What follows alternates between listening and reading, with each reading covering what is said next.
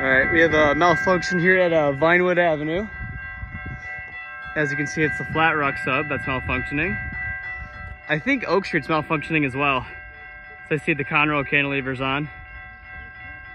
L573 is lined uh, to come north, but we haven't seen it yet.